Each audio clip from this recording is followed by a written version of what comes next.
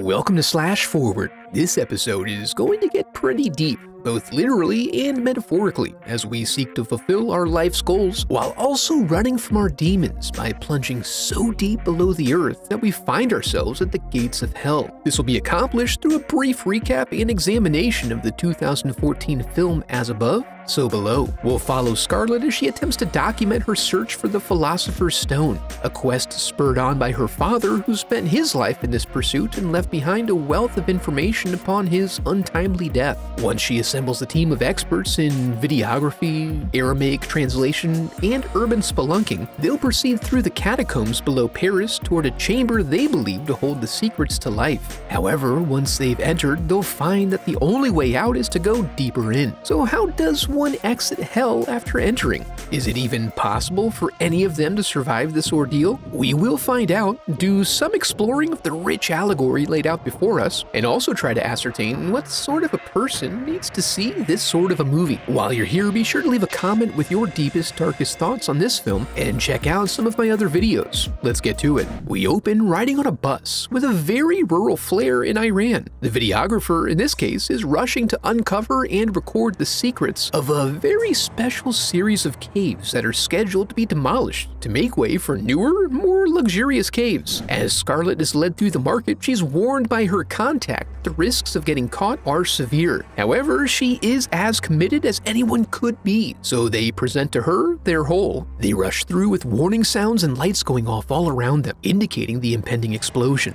She proceeds against recommendation and shortly finds an ancient tablet. She immediately vandalizes it so she can get at an even more precious engraving written on a beautiful bull's bust. She quickly scans the rose key with her camcorder so she can work to translate it when things are less explody, thus fulfilling her father's life's work. But this proves to be a waste because Daddy's been hanging out just outside the entrance this whole time. The charges then detonate and she's cast into darkness. Scarlett manages to keep running until she once again finds her old friend Reza, who now warns her that everyone who has searched for the answers provided by this artifact has wound up dead or succumbed to madness. Scarlett then provides a more formal introduction. She's a boss bitch professor with many degrees and specialties. She's following her father's pursuit of the Philosopher's Stone, hoping to get her hands on some of that gold, while also outrunning the shadow of her father's self-inflicted death. When we meet up with Scarlett and her cameraman Benji again, they're in France. This is where the preeminent alchemist of history, Nicolas Flamel, supposedly hid away a stone that he succeeded in creating. The rose key is supposed to hold the information they need to unlock his cryptography, but it's written in Aramaic, so they need special help from a dude she knows, who enjoys spending his free time surreptitiously fixing complex mechanical devices. They hope to entice George to help them for the sake of the documentary. He's mad at her for leaving him in a Turkish prison, so he acts like he's too busy with his chores. But then, I found the rose key, George. she unburies the lead, and you know, she happens to be just his kind of crazy. Plus, the clock is done now, and they emerge into the afternoon sun as the town hears the ringing of their bell tower for the first time in 284 years. They start their journey by sweet talking their way into a museum to get a closer look at old Nick's slab. Scarlett really takes advantage when she removes it from the wall and puts her chemistry PhD to good use, which results in them finding the secret sauce that brings all these riddles together. They're so hyped that they start decoding that bitch right out in the parking lot. Between their various know-hows, her father's journal, and a spare copy of the Da Vinci Code, they're able to suss out that the secret they seek is located halfway to hell, in ancient terms, or about 300 feet below Flamel's tomb. That's a tall hurdle to overcome until they remember the Parisian catacombs, a vast series of underground tunnels, full of human remains. They leverage the power of historiography to identify an unmapped stretch of tunnels that would take them exactly where they want to go. The next day, they treat themselves to a quick familiarization tour, finding the tunnels to be really beautifully decorated. After mentioning offhand about their need to enter the restricted areas, they run across a burrower who gives some direction in regards to who they can go to for help before disappearing forever. After a quick visit to a European rave, they locate their contact, Papillon. After some sassy banter, they form an immediate bond of trust, and he agrees to lead them where they want to go in exchange for half the treasure they're at. The next day, they get to meet the rest of the team, Zed and Souxie, before plotting the best course.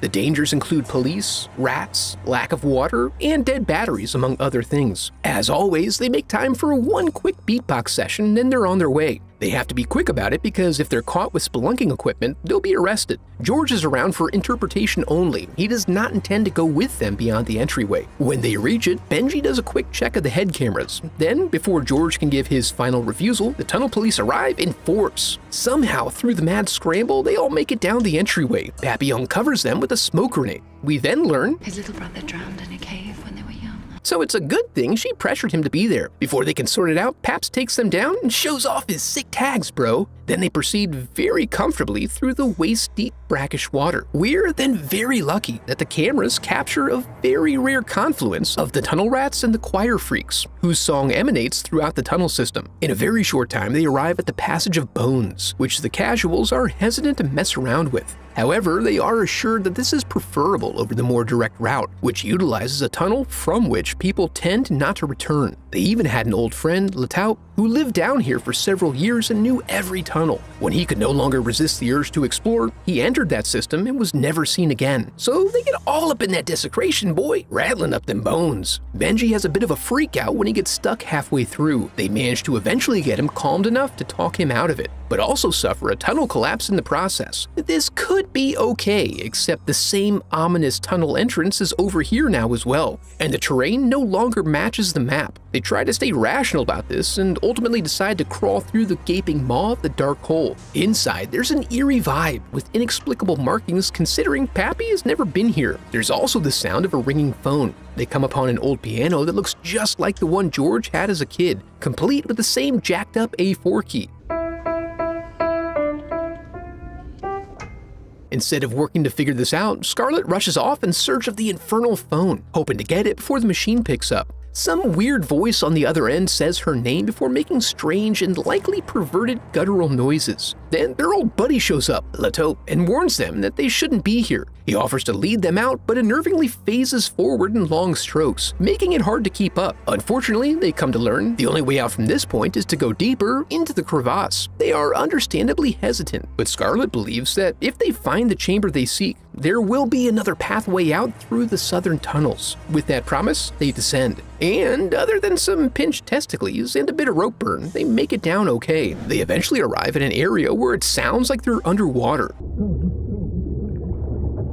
When things start popping off, they see that they've accidentally summoned the destroyer in the form of young boy. They get to the end of the tunnel, which even La Taupe doesn't recognize, and he lives here, but they find iconography that Scarlett can interpret, indicating that they're on the right path. It reveals a Ptolemaic hinge. If they withdraw the correct stone, a door will open. After figuring out the answer to a riddle, they carefully slide out a stone. And instead of dying horribly, they reveal a sweet new tunnel. At the end of it is an open tomb with a very well preserved corpse. It's creepy as heck, but Scarlett's too busy unraveling riddles to be perturbed, and the stones tell her to keep going deeper. A quick lights out session reveals the exit under a shallow pool of nice warm water. She plunges in with reckless abandon and emerges in the treasure chamber. They believe themselves in the final room. So, mission accomplished, tunnel friends. Just one more puzzle to locate the stone, which involves following a story to its conclusion, revealing the stone within the engraving. Without hesitation, she sets to chiseling that bitch out, and only afterward identifies the treasure to be a trap,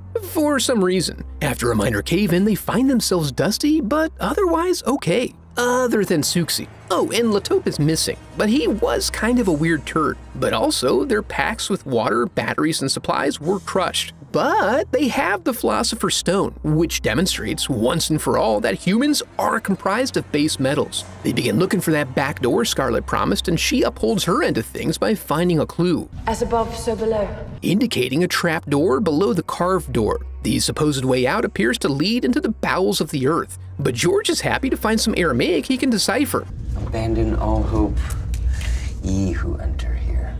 A phrase said to adorn the gates of hell, which is less grand than one would expect. Seems questionable, but they roll up their sleeves and slither on their bellies into a chamber that is the reverse of the one they just left. I mean, the one they can no longer return to. This causes Pappy to raise a valid question regarding their biostatus. Are we dead?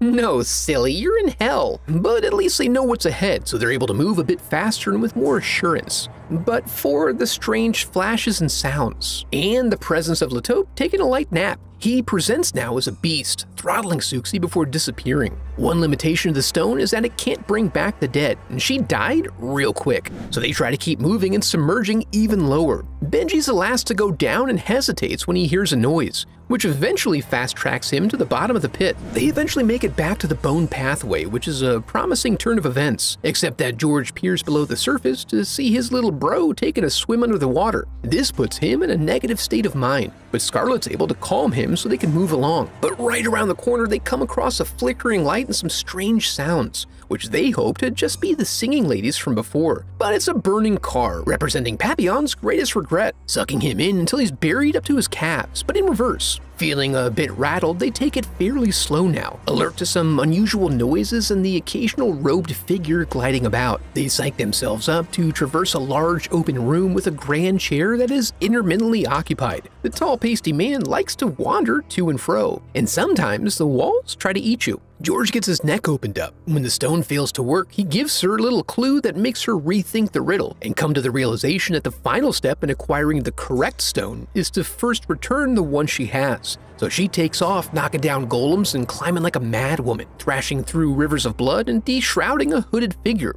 But she's got no time for self-reflection. After taking another run through the story wall, she finds the key was within her the whole time. You just have to believe.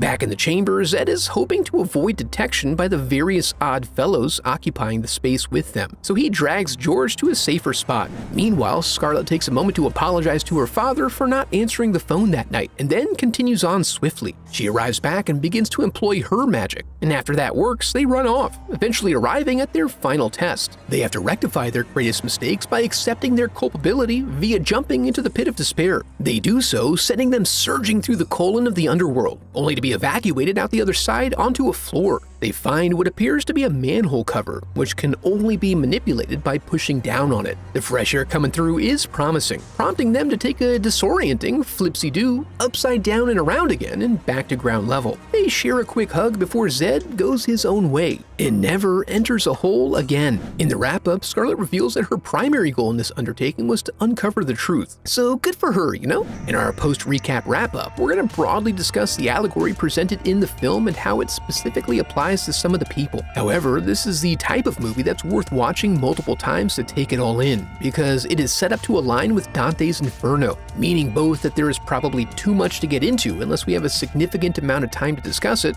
and also that if you're a fan of Inferno, you're going to find all kinds of interesting parallels and details that us casuals may not notice. The group's descent into the catacombs roughly follows the journey described in Inferno, but with some aspects not fully explained within the movie or enough details provided to verify how they fit together. For instance, some of the levels of hell are represented by strange occurrences that are consistent with Dante's story, but aren't made explicit through the actions of the characters or the struggles that befall them. The strange loud noise they suffer through early on is consistent with the description of the second level, Lust, which is said to contain a violent storm. And at another point, they hear a distant growl that causes some concern. This could be a reference to a Cerberus that guards the third level, Gluttony, and so on. Similarly, the events that transpire as they prepare to enter the catacombs and proceed into hell are reminiscent of events that occur in the book. Dante was an unwilling participant in his jaunt to the center of the earth, forced in by violent events at the beginning just like George. Then, as they proceed, there are further parallels between the cultists, false tunnels, and other details.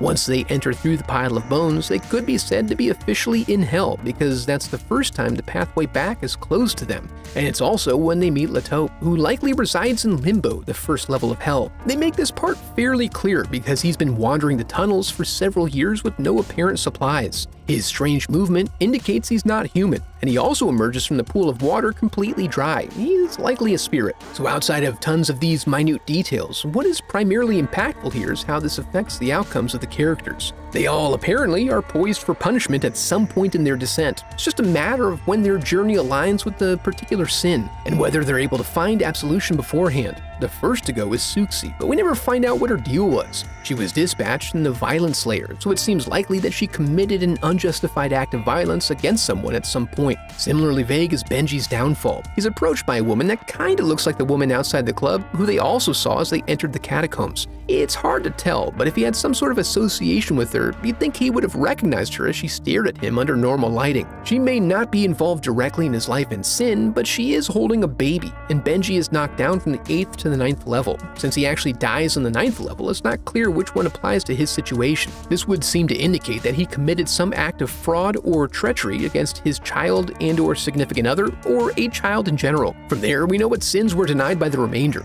George left his brother in a cave to get help, but lost his way back and failed to save him. Scarlett chose not to answer her father's call on the night he killed himself, which she felt was a selfish act, but she also claimed not to know what kind of pain he was in, which could be viewed as an act of denial. Papillon lit a car on fire that had an occupant, although I didn't catch if he knew the guy was in there when he did it or if he was just doing a vandalism for funsies. Seems like it would be the latter, because then he would have a reason to insist to himself that he wasn't culpable, because he didn't know. And then Zed apologizes for siring an heir, whom he denied as his own. By acknowledging their responsibility and taking on the final test, the three survivors were able to make it out. One other thing to note that we won't necessarily address here, but the movie has a variety of riddles and poems throughout that they had to solve in order to figure out where to go next. When I mentioned using history to locate the abandoned tunnel that wasn't on the map, I was referring to their knowledge of some 16th century events where there were collapses and cave-ins on various streets in Paris. This indicates a void below the road, and after repaired, these portions of the catacombs no longer made it to the map. And because this ran below Nicolas Flamel's tomb, this is where they decided they needed to go. In the case of this movie, any remaining questions are more the result of peeling off layers and trying to see how deep you can go into the metaphor being presented, rather than the result of inconsistencies, so they are somewhat inconsequential.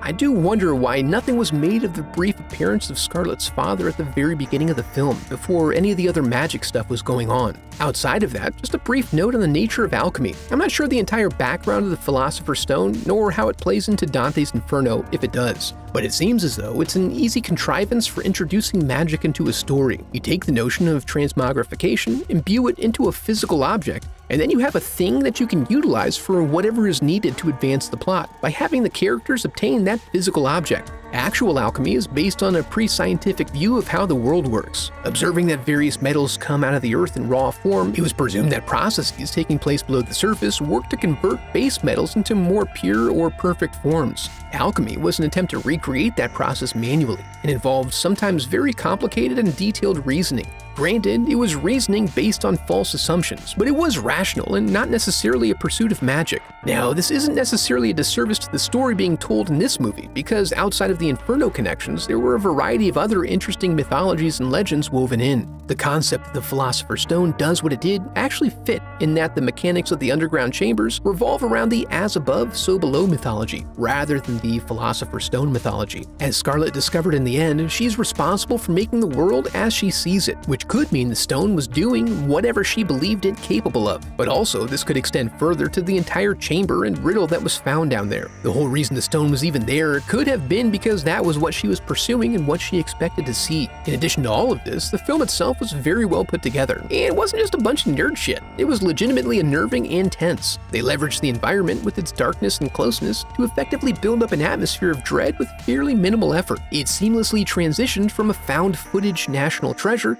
to a fairly alarming mythological version of The Descent. In regards to who this movie is for, I would recommend it to anyone. It does found footage well, pulls off legitimate jump scares, and has all the eerie dread you'd want if you're looking to get spooked out by a movie. It also has tons of subtext that support repeated viewings and many levels of analysis. If you're into religious ritual, history, literature, mysticism, symbology, or any of a bunch of other topics. And on top of all that, it's not boring or slow really at any point. It depicts the descent into hell about as frenetically as one would expect, but also leaves in some mystery in that they're not constantly having to overcome challenges specific to every single level. Satan is an unnerving baby-faced presence, but doesn't need to attack them because they're already in his domain and subject to the various trials and tests associated with being in hell. This actually makes the atmosphere much more threatening overall. Before we go, I'd like to give a huge thanks to my donors memorialized in the Hall of Headshots.